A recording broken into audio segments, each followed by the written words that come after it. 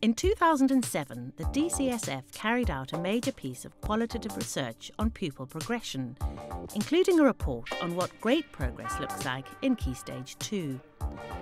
Expert advisors from the department visited 20 schools with outstanding rates of progression to find out what lies at the heart of their spectacular improvements. What characterises these schools is they have high expectations of the children, they don't accept excuses like, oh, well, when you look at the estate, we can't expect it of those children. They expect every child, regardless of background, to succeed. The report looked at a number of leadership, school culture, and policy areas, as well as assessment. In this programme, we look at some of the common features of teaching and learning and the curriculum. The report refers to all the participating schools. Here we draw on illustrations from one of them. William Ford Church of England Junior School in Essex is located in the centre of a large housing estate with high levels of social deprivation. Around 65% of pupils enter Year 3 at level 2C or below. In 2007, 93% achieved a level 4 or above in English and 98% level 4 or above in maths and science. There's not one factor that's responsible for the children's rate of progression. Lots of different things come together and as a whole produce outstanding results. I think the quality of teaching is very important. We have a lot of very highly qualified, very experienced and expensive staff. Our TLR structure at the school is very top heavy. We maintain high levels of teaching by keeping our teachers, our turnovers very low, and that uh, enables us to produce consistency and year on year steady progress. As you know, yesterday we started looking at estimating, and today. Alan Robinson teaches a Year 4 maths lesson. To do at the beginning of today's lesson is use estimating. His lesson reflects some of the common curriculum and teaching and learning features that were shared by all the schools surveyed that were making great progress. The word estimate we talked about yesterday. Can anybody remember anything about the word estimate? We use information that we already know to make uh, approximately what it could be. That's a very good answer. Thank you very much. Well, obviously, the lesson was part of a unit of work that we've been doing, um, and so it would always be informed by the lesson before. So the first thing is that the starter is normally related to the lesson that came before. Show me your answers. Well done. Well done. Having a look around. Should we try another? This one's a little bit harder, don't worry. If you can't keep the pace up a little bit so we can keep the children working quickly. Florence, which one do you think is the correct answer? 352 because 3 times 1 is um, 3. I always try to make sure that the lesson is well signposted, and that's something that in this school that we try very hard to do. And you've done really well in that starter to show me that you remember what we were doing. Now today, we're going to continue to be learning to use estimating strategies but I'm going to add something to it. Because the teachers are always speaking really clearly so you can hear every word, so you just understand what um, you're doing. Now, I'm going to suggest to you that we could use our brains to work out how we could estimate this. Maybe think of a strategy that we could use to estimate what's in here. Sam? Um, well, we could probably think about... Um, you could probably think about how big they could be. We're trying to get the children to explain to each other using their reasoning. And that way they can actually be a, an active part of the learning process far more than they would be if it was always the teachers explaining to the children. So we could measure the sweets and measure the jar and do that. That would be a very good strategy. I'm not going to do that though. I think it would be a bit complicated, but I think it would be a great strategy. I would expect the children to know that I'm very happy with them making mistakes. I'd rather them know that they can take a risk, they can have a challenge and have a go. I need to know now if I'm going to estimate how many are in there. What information would I need to know, Femi? You will know that from one of the sides all the way back from the beginning it's all the same. Mr. Robinson doesn't tell us the answer, but he um, gives us clues and stuff how to do it. Why do you think I've written 30 multiplied by 2? I think you put 30 multiplied by 2 because Miss Short wanted... We don't want the children to say um, one-word answers. Make sure the children speak incomplete sentences. Just put 30 down, only be one for each of it, so you had to double it to have twice as many. Well done, that was a great answer. So we've actually worked out that yes, there will be enough. In fact, there's probably going to be more than enough. I'm sure there'll be some for me as well. I think maths can be very exciting, can be very fun. You've got to search for clues, and you've got some different problems, and they're in your brown envelope.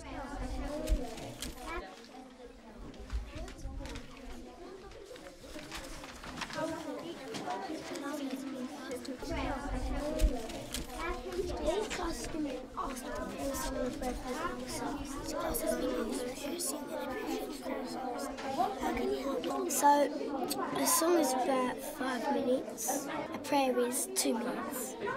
It's five add two. Seven. Two times seven is 14. 70 add 14 equals 84. And we do, as often as we can, present the maths in real life situations, using and applying mathematics as one of the key strands of the new national framework. By putting it into the real life situations, it made it accessible and it made it interesting, it made it fun. About 84 minutes. They're all doing the same learning intention. Um, the partners were not necessarily from the same ability, so they're able to support one another. You didn't look at that part? we weren't paying attention. If there's someone like Sam or Danielle sitting next to me, I'd ask them for a little help. Can you use any estimating strategies to help you do this?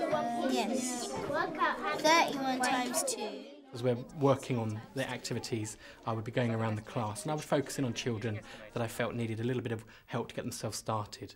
Which information have you maybe not paid attention to? Which, which other clues do you need? in Each class. So what are you going to have to do now? I think um, well, it's going to have to be approximately 10 times 4 because it, it would be. We have a culture of achievement and it's cool to achieve and our boys in particular are very competitive and support each other. If you've done 10 times 4 instead of 12 times 4, what could you then do afterwards? Just add 8 or Another 8. That's another 2 times 4. Teachers expect the best of us, but we know we have to work hard ourselves to um, get good results in exams and stuff and things like that. Could you tell me what did you and your partner do? We decided um, our song was about five minutes. And then we thought um, a prayer was two minutes. They know that they move from one thing to another quite quickly, but they also would know in my lessons that things would be linked to each other, and it helps them to know uh, what maths is going on in the room. Four years. Well done, that was excellent. You only had a slightly different answer. The teachers plan together as teams. They have a day term with non-contact to plan for the up-and-coming term and they meet weekly to ensure that the children have a consistency of experience. I'm really pleased with the strategies that you have started to use. We plan together, which is very useful because we get to bounce ideas off each other, we get to think of things we wouldn't have otherwise thought of. I want you to remember that the estimate is a judgment, not a guess, and we find the clues and the information, and remember how we started to apply that into real life situations. Thank you very much. You've all worked very hard today. So if we start by, first of all, just to say all the levelling was secure.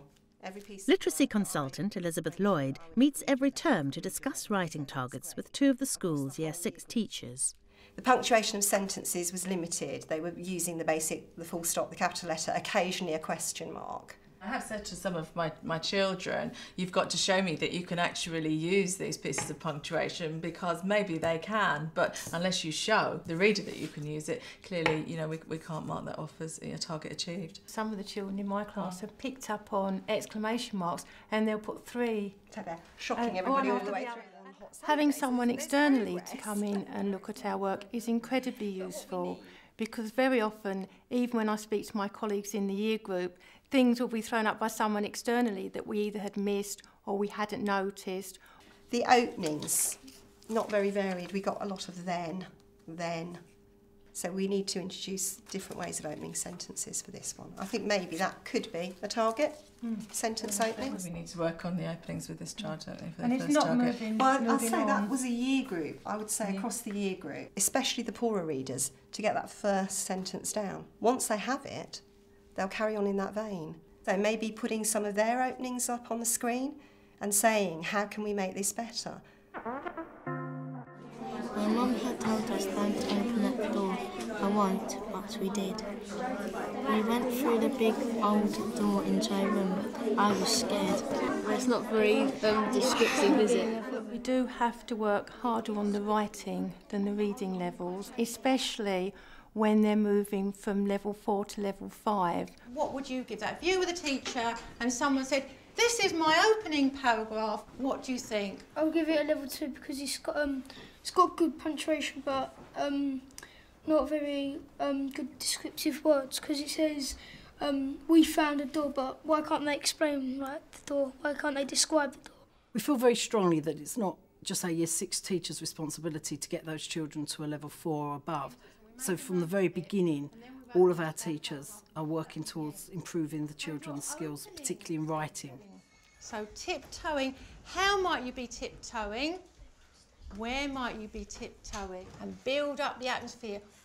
You can't, with writing, suddenly cram for a test and deliver the goods. Writing has to come over a far longer period. So, as part of that support, every teacher has writing as a target for their performance management. Do you think you might be tiptoeing quietly? Because you don't want to be seen. Or? Because you don't know, we don't know what's out there in that forest, do we? If you write a story, normally your teacher um, writes a comment, and you like read that comment, and if it's um, something that you haven't done, the next bit of writing you do, you think, oh yeah, I've got to do that. So I'll use that in my next piece of writing. If I had to pick out one single thing that all these schools do, they know to a sub level how the children are performing and they know that the children are on trajectory. If I had any recommendation for people watching, adopt tracking is the first thing you should do. We meet every term, myself and the class teacher, and we go through each individual child. We look at the progress they've made during that term, and because I am the consistent person each year, I end up with a full picture of where those children are and what we need to do. It's really exciting to open up your book and see what feedback the teachers have given to you because um, you want to know what you got, um, what is actually um, the things that you must improve, and gradually you get really, really good at your writing because of those targets. Lovely. I saw it right behind the door. It made my hands tremble, and I felt someone was tapping me. And I felt someone tapping me. Yeah. But was anyone there? Yeah. They're very aware independently of their personal targets. And one of the strategies I would use is for them to put a wiggly line under anything they've done that they think has met their target. Tiptoeing silently, I saw an ancient abandoned house. I heard the front door creaking. As the door opened noisily, I saw what lay behind the door. It made my hands tremble and I felt someone tapping me, but was anyone there? Thank you, Stephen. That's really good. Well done for that. Teachers have the highest expectations of our children. These children have got to get to that level. We are about opening doors and offering our children choices, and unless they leave us able to write and be numerate, then we are actually closing doors. So we have an obligation to ensure that they reach those levels. Sometimes they come in at a very low level and we have to work much harder to get to that higher level, but we don't accept that we won't get there.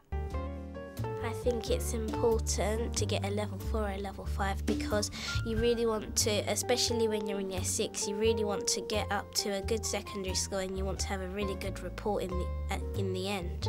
If you don't really um like learn nothing, then you, you're not going to be like you're not going to have a good job.